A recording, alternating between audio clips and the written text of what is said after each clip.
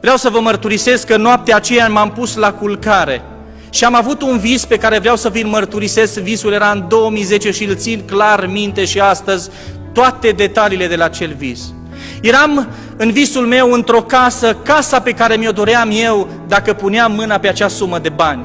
Eram legat cu corzi de la gură în jos ca o mumie. Eram întins pe o canapea roșie din piele, în jurul canapelei erau doar demoni de înălțime un metru, știam că demonii aceia sunt mine și pe mine era întins Lucifer, Satan.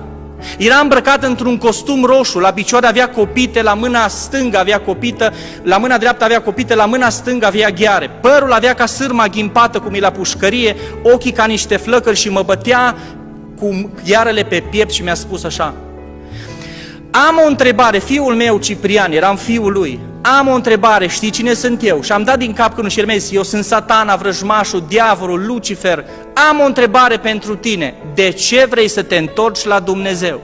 Dumnezeu mi-a dat puterea să scot degetul prin acele corzi și să îndrept degetul către el și să spun, tu ești făcut din Dumnezeu.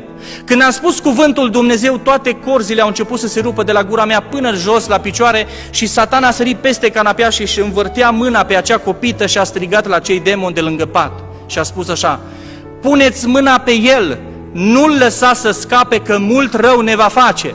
Și acei demoni încercau să mă prindă de gambe, de picioare, dar am văzut din parchet, din marmura aceea, cum s-a ridicat o lumină până la genunchii mei și acei demoni se atingeau de lumina aceea și îi ardea. Și spunea, nu putem pune mâna pe el că ne arde ceva. Era prezența celui prea înalt, slăvit să fie numele lui. M-am uitat în jurul meu și vedeam cum acei mă privesc și cum mă privește satana și am început să merg prin camere, prin casă și am intrat într-o cameră unde mama mea stătea pe șezut la marginea unui pat și plângea și se zgâria pe față când m-a văzut și a pus mâinile în față și mi-a zis, Ciprian, pleacă de lângă mine că eu nu mă pot pocăi cum te-ai pocăit tu, nu mă pot întoarce la Dumnezeu cum te-ai întors tu. Și am spus, mama, o fi casa asta frumoasă, dar să mergem la casa noastră. Și am luat-o pe mama și am vrut să ies din casă. Am ajuns în loc, în living de unde am plecat, Satan tot după mine era. În partea stângă, la o distanță de vreo 2 metri de mine, a apărut trei legionari din trupele speciale din Franța. Unul dintre ei, care era foarte bine îmbrăcat, în armat de sus până jos, nu le vedeam chipul, că erau cu cagule pe față, avea un costum foarte bine în mână, foarte, cu multe decorațiuni de război și scria un nume. Dar vedeam foarte clar la distanță, ca și cum aș vedea în cartea aceasta să citesc, și m-am uitat pe pieptul acelui costum să văd ce scrie și scrie așa, Cojocarul Iulian Ciprian, gradul de general în legiunea franceză. Pasionat de lucrul acesta, am făcut doi pași să mă duc către persoanele acestea și m-am oprit și am spus, o să ajung un mercenar, o să omor la comandă, nu o să am o viață, nu o să am o familie, nu e bine să fac lucrul acesta și m-am oprit. Satan a venit în fața mea și mi-a spus așa, du-te că în scurtă vreme eu voi fi cu tine și te voi ajuta să ajungi general în legiunea franceză, dar să asculți de mine 5 minute și să faci ce ai de făcut la ora 3, adică să-l omor pe acel om. M-am dat înapoi și am spus, Doamne, eu nu, nu vreau să fac lucrul acesta, vreau să am o familie, vreau să am copii. Din nou Satan a venit în fața mea și mi-a spus, uite-te în ochii mei, m-am uitat în ochii lui și am înțepenit, n-am mai putut să mă mișc și mi-a spus așa, casa aceasta ți-o voi da ție, dacă asculți de mine 5 minute și ai de, ce ai de făcut la ora 3. Mi-a spus marca mașinii, mi-a spus că îmi dă faimă în toată lumea aceasta, mă va cunoaște toată lumea aceasta, în România, în Timișoara unde stau, toată lumea mă va cunoaște și tot ce-mi dorește inima, știa parcă la mintea mea, ce aveam eu în mintea mea, ce dorințe aveam eu, satana mi le punea ca pe o tavă și am strigat, mi-am adus aminte de toți pocăiții care au trecut prin viața mea și mi-a spus că este unul Iisus Hristos care te iubește.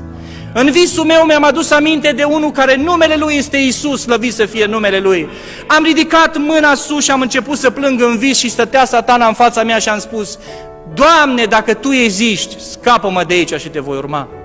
În momentul acela, era ușa de intrare în față, s-a aprins ca o lumină și razele luminii trecea prin ușa din termopan. Satana a fost așa ca o forță, s-a tras în partea stângă Vreau să vă spun că ușa a început să se clatine în față și în spate și a început să se spargă. Când s-a spart ușa și razele luminii a intrat în casă, a dispărut legionarii, demonii, uh, uh, uh, satan, toată lumea și rămâneam eu cu persoana care era în față. Era îmbrăcat în alb albastru, capul avea ca un soare, cum îl vedem noi după masă și nu ne putem uita la el că ne dor ochii. În mâna stângă avea un buchet de trandafiri roșii desfăcuți, Un singur fir din acel buchet de trandafiri era cât amvonul acesta de mare. Era ca un copac în mâna lui. Când a băgat trandafiri în casă, am văzut gaura de la piron la mână. Am început să spun, Doamne, Tu chiar existi și a băgat capul în casă și a început toată casa să clatine. Vedeam cum se crapă tavanul, placa și cum se crapă pereții de că pică casa pe mine. A venit în fața mea și vedeam că era desculț, am văzut gaura la piron, am văzut că de la picioarele lui crapă toată marmura în față, se scuduia pământul. A venit în fața mea și s-a pus piciorul în fața mea și mă uitam la el și ca un filmuleț mi-am văzut toate relele și vorbele și păcatele mele, mergea ca un film, se derula în fața mea și parcă mă trăgea satan în, în pământ. Nu mai era nicio șansă pentru mine. În timp ce stăteam acolo, din lumina aceea am auzit o voce care vreau să o mai aud. Fiul meu Ciprian, știi cine sunt eu?